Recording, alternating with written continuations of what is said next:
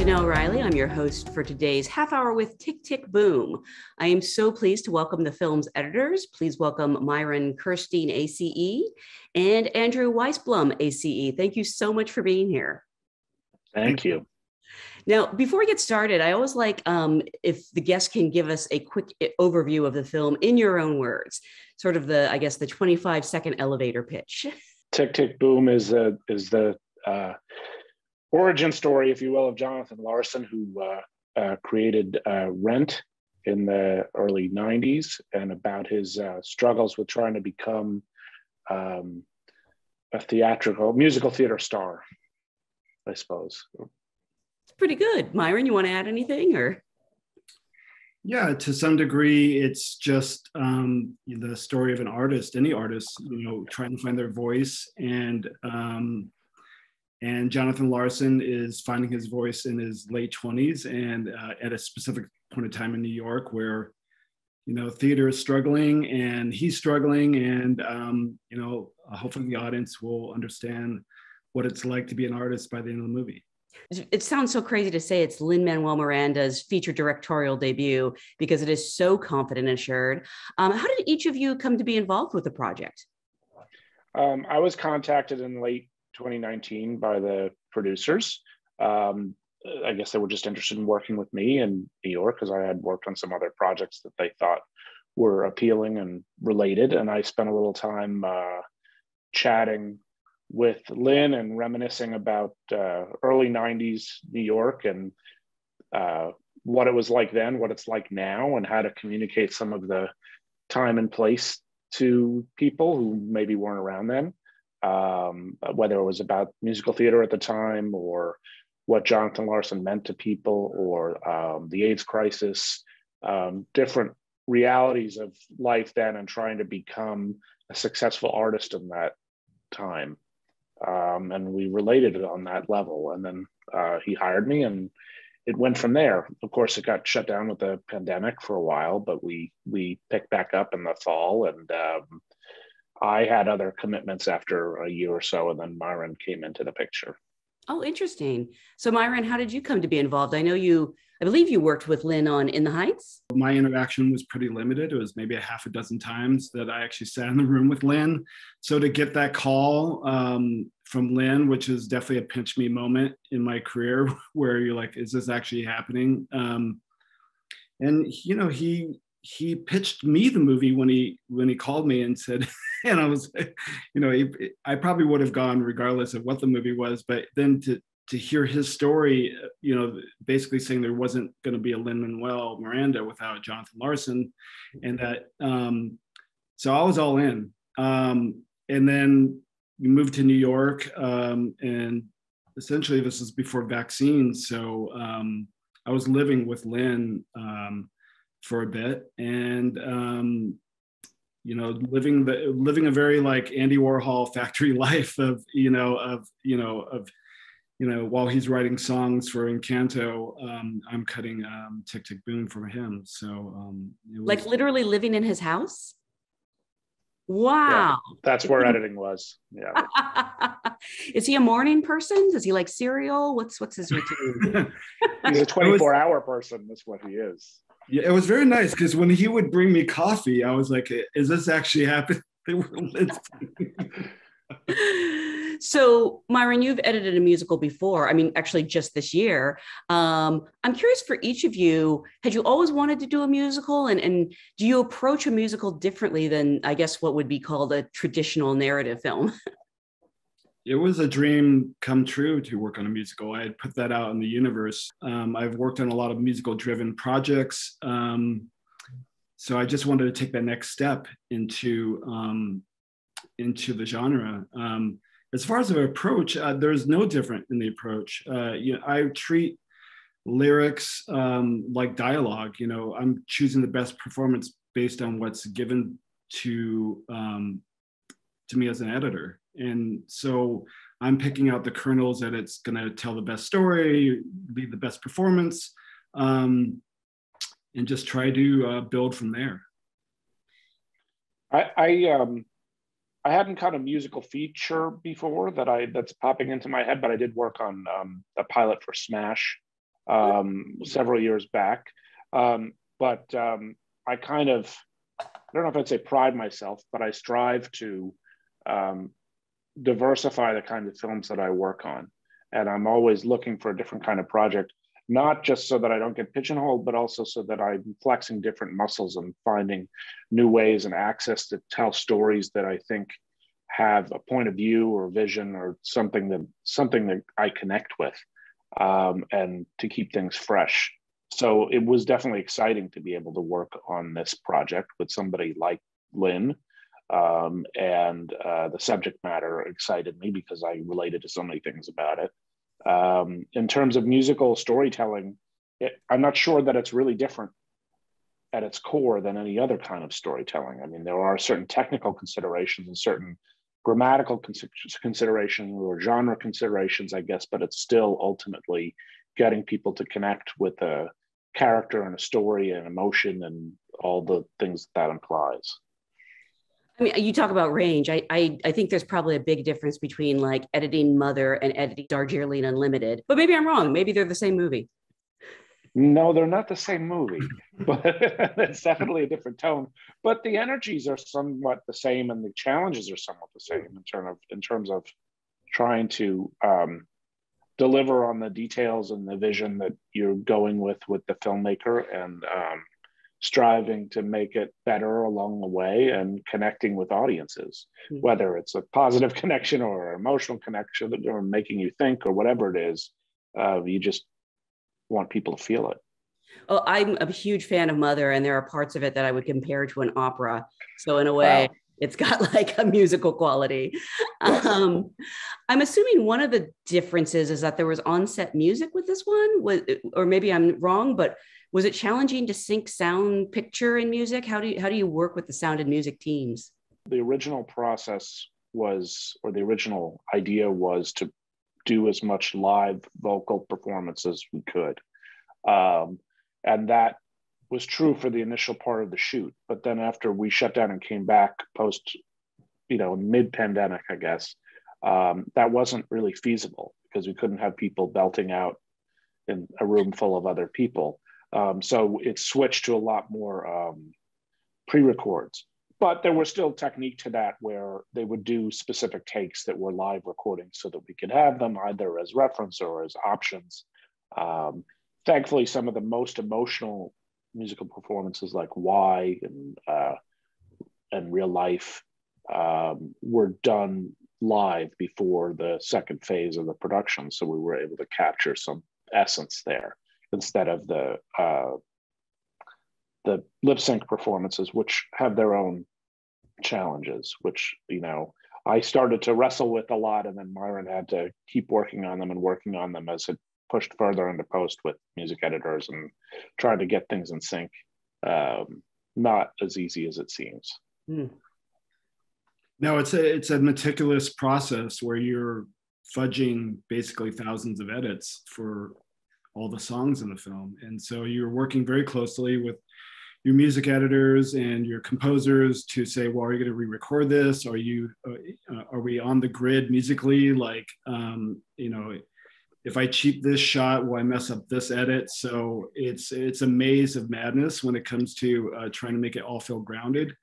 And if anything, you know, I learned from In the Heights is that all that is very important to keep it grounded and um, keep it as real as real as possible. um, and um, or otherwise you might take the audience out of it so um, you know it's a um, yeah it's it, it's it's a lot of work for um, to make it all feel invisible and switching from dialogue to playback is always kind of the big challenge that you face because you know people who are keyed into that can feel that right away. The sound quality changes the, the changes everything changes. So we knew in 30/90 the first time that happened as long as we got that right that that would buy us a lot of um, confidence moving forward and being able to figure that out later in the film I cannot tell the difference between the live and lip sync numbers. Um, and I, I don't want to ask you to give away any secrets, but can you tell me what one of the live numbers was, just so I know to go back and look? Um, Why was one of them, certainly uh, Boho Days um, and real life was primarily live. Uh, I'm trying to remember which other ones have live performances to them. Um, that was kind of a mix. I know some of Come to Your Senses was done live. Um, ultimately. Um, but I, I, there might be a few others. Myron, do you remember the other ones? Uh, those are the ones that stick no, out. yeah, that would cover it. Um, you know, but it's really hard to do something like therapy live, where, um, and I think that was after COVID, so I think they mm-hmm. weren't even allowed to do it. And you say if you have, you know, two people right next to each other, and um, but it's also really challenging to make something so kinetic feel you know really again really grounded and you know feel like a fun vaudeville chicago like uh, number and you know not be taken out of it so the film is it's not just a musical it's a musical within a musical. Um, i'm curious can you can you talk a little bit about how you navigated that in discussions with lin like if you wanted it to all have the same tone or if you wanted to be there a slight difference in i guess what would be considered flashbacks and the present? Well there was a certain structural conceit to the whole thing is that you're dealing with the rock monologue um, as the framework for the whole piece. So you have your narrator built in, and you have a context for the music built in, where in a usual musical uh, film, you have to come up with a language, a grammar, a justification for breaking into song. But in this one, it starts with a musical number on stage that then bleeds into the memories of the past that we're singing about. So once that was established in 30/90, which kind of sets the stage, which is always true with a musical. The first number is kind of the is the key, the linchpin. Then it wasn't really belabored. You know, you didn't have to think so much about how the music um, was introduced and when you transitioned into a number from dialogue or dramatic moments or narrative beats. Um, it, it part of the dynamic shape of the whole piece is that each one is a little bit different, um, whether it's intercut with stage or on the stage alone or in the past alone, they all have their own conceits to them um, without overstating them or overemphasizing them.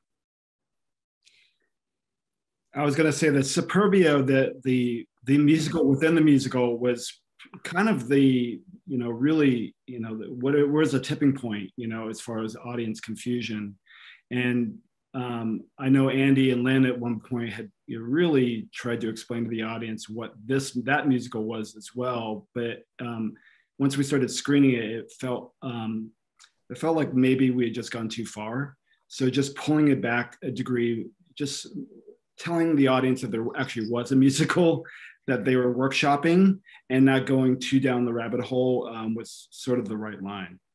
Yeah. I really want Lin to make Superbia now, by the way.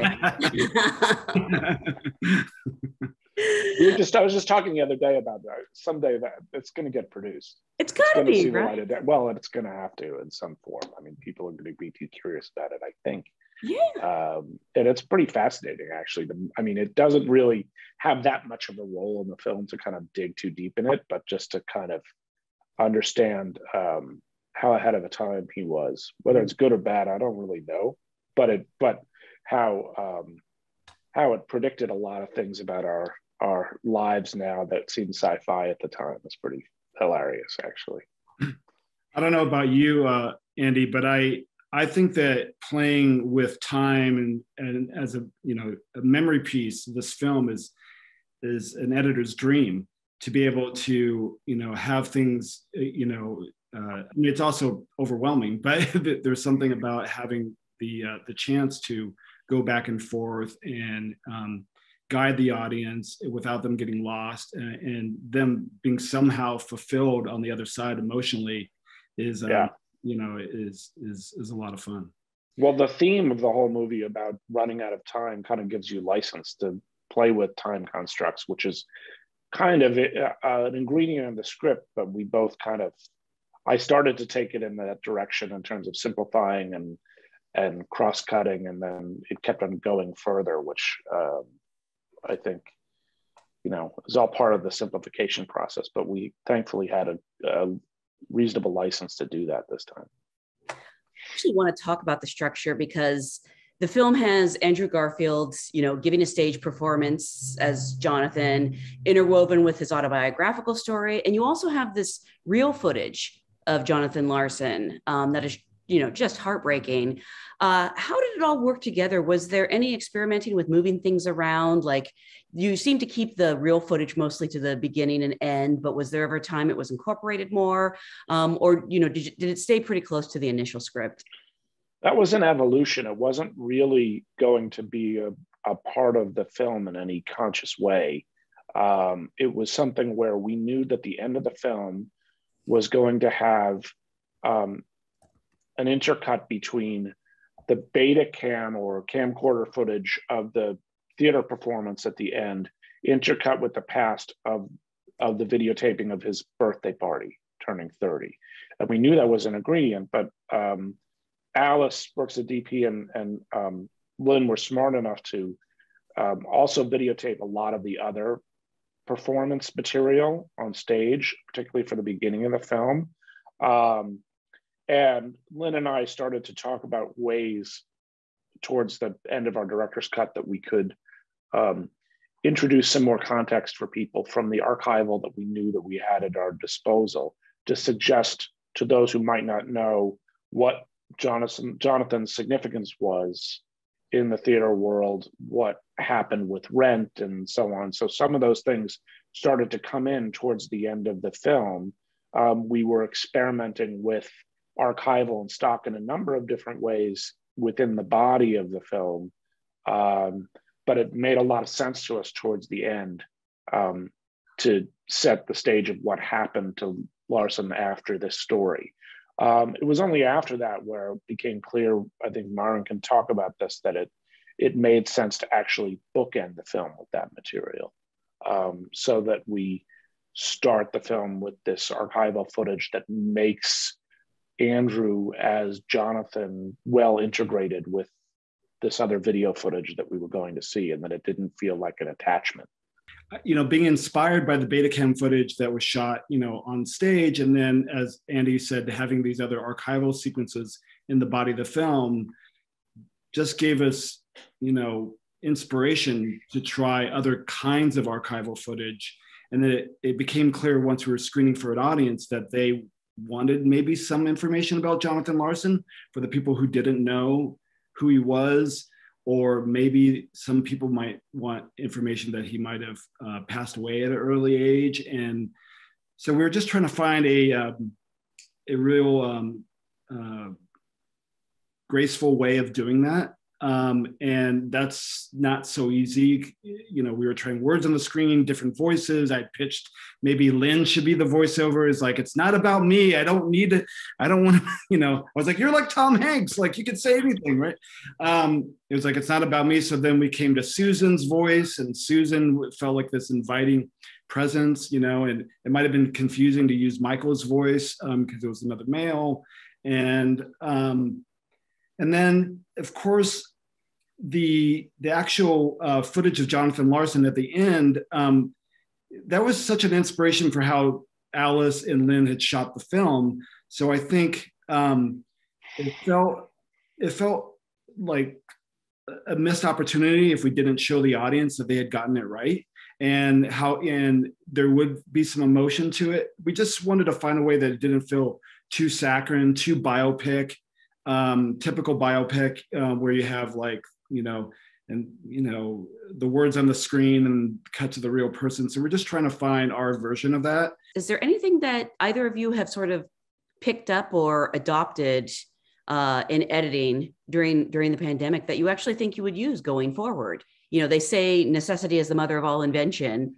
Maybe maybe you've learned like a, a new way of working. Maybe you like living with your director well, unfortunately, I've had to do that more often than not. Strangely enough, with other other projects where I'm traveling with the job. well, maybe not unfortunately, but you know, you you it's hard not to be um, intimate with and, and spend a lot of close time with the director. It's a very close, sensitive environment working on editing a film. So it's it, it's not that big of a leap to know that we would live together. Um, but in terms of the pandemic, um, it it had some interesting influences on this film because a lot of a lot of the discussion in pre-production or in the first phase was trying to figure out how do we communicate and represent certain things about New York City um, in 1990 that don't exist anymore, and do it within a budget and kind of cheat that stuff. Um, and so it, it, it, part of it was trying to dress or hide certain locations and shoot in certain place. Like how do you do Times Square? How do you do all these other things? And then when we transitioned into the the pandemic phase, much of the material was then moved to shooting on stages. And it meant that we were basically recreating it from scratch anyway. And you didn't have to necessarily um, re completely redress or hide a location. You were you were building your own place. Um, that I think worked to our advantage, strangely. Uh, but the but we also um, got to film in the actual theater that he uh, performed Tick Tick Boom in originally, which was not originally part of the plan, but it was available. Um, that's one of the things in terms of editing. I don't really know that there's I miss being with my crews. that's that's a hard thing, but but a lot of we had such a great team that were so um, adaptive to the situation and so eager to work and and um, you know we found our ways to communicate. I I've worked in remote situations before, but obviously this is a different thing. I didn't think I could pull it off, um, and I you know it was Lin's first film, so yes, I was going to be with him because to cut his first film remotely over Evercast or Zoom um, just didn't seem like a, like the best way to give everything I had to that movie. But then, but still, I had to do that with the rest of the crew, and I wanted the VFX to look as best as possible. And there is a lot of VFX all over the film that are you have no idea um, uh, how we made New York look the way we did, and um, but you're doing that all over like you know little monitors and um, you know meticulously working. You know my vfx producer was in london so there's all these time differences but you know just to make just to try to get it to the finish line remotely um, at first just felt like this um, just overwhelming task. And then suddenly everything you know you start to you just learn how to do it. And um, I, I think that I would I'm going to love being back in the room with a lot of my crew, but I, I don't think this is going to go away. I think this will, there'll always be some version of a hybrid. Yeah. Moving forward. And, um, you know, I get to talk to you now. Um, it, you know, we probably wouldn't even known how to do this couple. You would have to like, you know, get, you know, get in a room together. But I, you know, I'm, you know, I'm grateful to be able to, you know, have access to people in ways that I hadn't before as well. Um, but I do think that it's kind of impossible to uh, i've done it. And I, and I know that it suffers not being able to sit in a room with the director and um, and you know feel the energy together in the room about what you're looking at and getting excited together and have a creative meeting of the minds and collaboration. It's just to vibe like that over email or zoom or Evercast or hmm. whatever. I mean, it, you can do it, but it's tremendously challenged. Yeah. Yeah, there'll be days that you know Lin would you know go write the next uh, amazing song and come up, and you know sit next to me was like, okay, what do you've got? And I'd say it was like, well, I don't like that, but then we could talk about this, and you know, and that inspires new ideas just to have that person or Steve Levenson can come up and um, you know sit in the edit with us and you know we could pitch scenes to each other that's really hard to do sometimes um, you know when you're away you just kind of yeah there's an energy about that that i don't think it's really hard to duplicate i get it uh, so finally, we always like to ask if someone hasn't had a chance to watch Tick Tick Boom yet, and I want to remind everyone it's on Netflix. You can watch it over and over again. Um, what's the first thing that sort of comes to your mind that might make someone go check it out now? Well, I think if you're an artist or any artist making anything, you're going to relate to this movie. Mm-hmm. And mm-hmm. it's going to be um, very emotional. And it's, and um, yeah, I would give it a shot just based on that. And I'll even go so far as like, if you're not an artist and you're just trying to find your way in this world, which a lot of us are still trying to do. Um, and that it takes a lot of hard work and a lot of failure and um, uh, and picking yourself back up. I think you'll relate to it too. So I, I would give it a shot. I mean, something I actually love about this movie is that you have characters like the best friend Michael, who you know his his dream to be a performer didn't work out, and he he's happy and he's good at what he does. And you have Scott from finance. We all need Scott from finance in our lives, you know, supporting the arts. well, again, I want to remind everyone the movie is on Netflix. Thank you so much for to our friends at Netflix and to Myron and Andrew for talking with us today. And everyone watching, thank you so much for joining us for this half hour with. Thank you very much. Thank you.